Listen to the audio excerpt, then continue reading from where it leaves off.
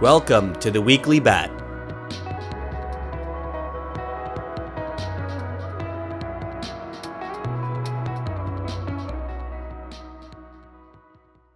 Blog Why Marketers Must Conduct GDPR Data Protection Impact Assessments of RTB.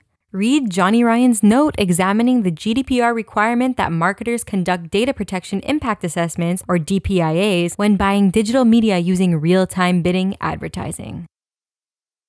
Event today Brave CEO Brendan Eich to participate in a fireside chat, a brave new advertising world, at World Blockchain Forum in NYC alongside Tap Network CEO Lynn Dai. Moderated by John Biggs of Coindesk. Community! Chris and Jenny from the BAT team hosted a successful BAT and Brave meetup in Montreal, Canada earlier this week. Yeah, it's kind of weird to read headlines about yourself, but Chris and I had a wonderful time at this week's meetup. Um, thank you to everybody who came out. We loved meeting you all and getting to hang out with you all for a few hours.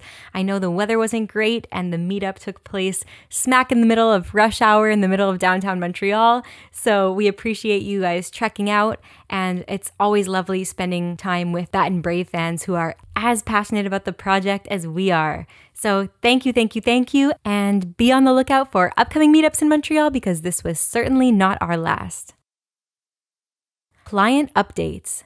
This week, our developer channel progressed to 0.71.81, our beta channel progressed to 0.70.102, and our release channel progressed to version 0.68.141.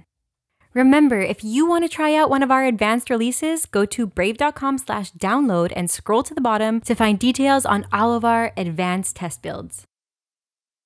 Brave Team Tweets this week, someone in the community asked, why not just make Brave a browser extension? And Brendan replied, because we can't do the detailed attention measurement, deep UX, e.g., URL bar, or ad slash tracker blocking and blind signature Rust native code, more to come, from add ons. I've said this often too. If we could, and wouldn't get blocked by extension stores for any reason, we would.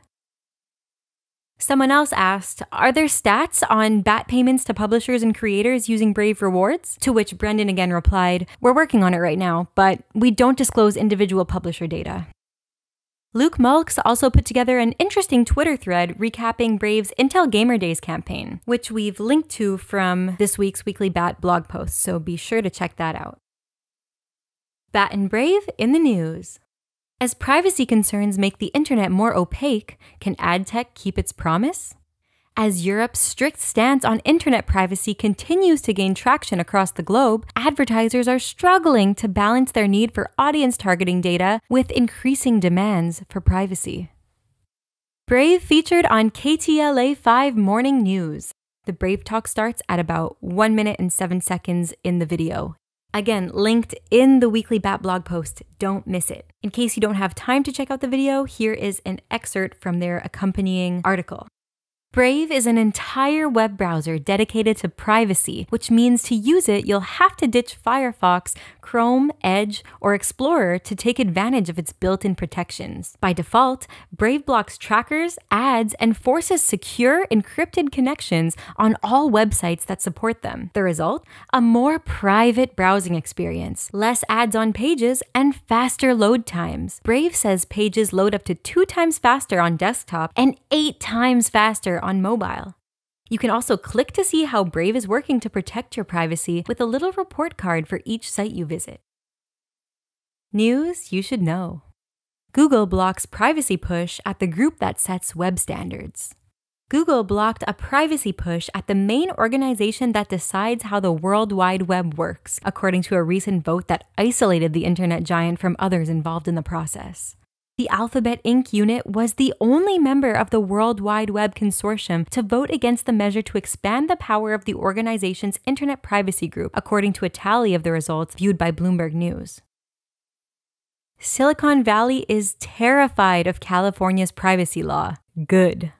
In a little over three months, California will see the widest sweeping statewide changes to its privacy law in years. California's Consumer Privacy Act, CCPA, kicks in on January 1st and rolls out sweeping new privacy benefits to the state's 40 million residents and every tech company in Silicon Valley. California's law is similar to Europe's GDPR. It grants state consumers a right to know what information companies have on them, a right to have that information deleted, and the right to opt out of the sale of that information.